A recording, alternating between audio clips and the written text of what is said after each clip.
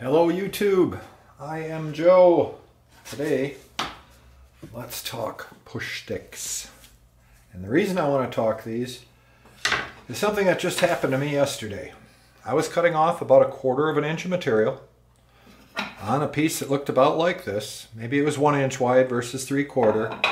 But I was cutting it off, got halfway through the cut, about here, and that last piece, that quarter inch, started chattering on here and wanted to make this a missile through my skull.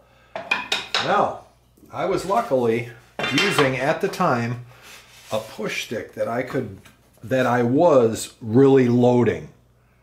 Center of the hand, center of the span, big load down and I could literally muscle it from throwing it back in my face and finish the cut without it throwing the piece at me. And I'm mentioning this because of those push sticks that people have out there. You know the ones I'm talking about that just hold on to the bare minimum end like this and you kind of push it through? Had I been using something like that, I would have wore this piece for sure. So I thought I would just do this video just to make a safer push stick for everybody. Number one, I put sandpaper on the bottom of mine, and that's put on with Spray 77 adhesive on both pieces. Let it tack up, put them on, and you really have a good, good hold down. This is on X-weight, really heavy-duty cloth paper. Uh, whatever you have is going to work. The heavier you have will work better and longer. Okay? These are very simple to make.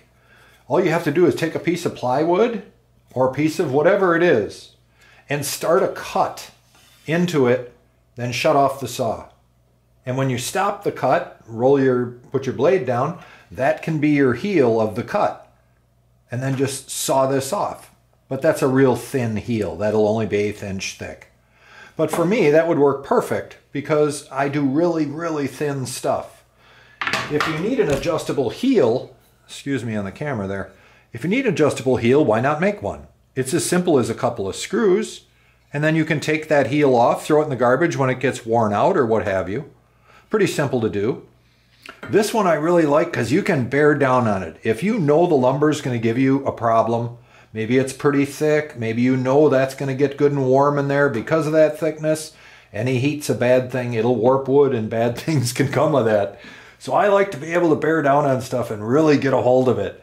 And if your pressure is straight down, you got a good chance of making it through or doing whatever you have to, shut this off.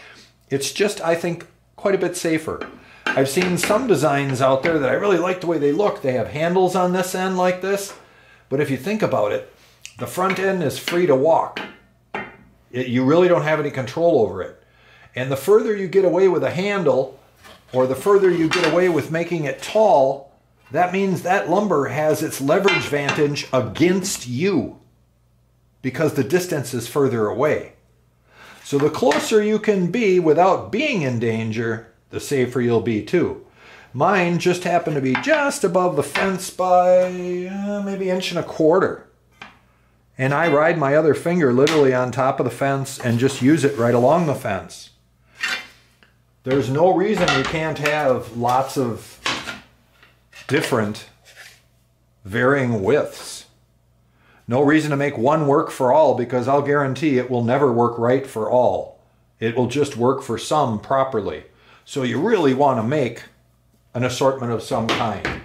If I need a job, if I have a job that's doing certain widths and I have a lot of them to run through and it's dangerous, I'll make a special block just for that. I mean, your fingers and hands, you know, you can't grow those back. So you got to do what you can do, right?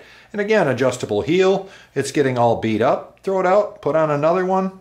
You're good to go. Let me know what you guys think. You take care.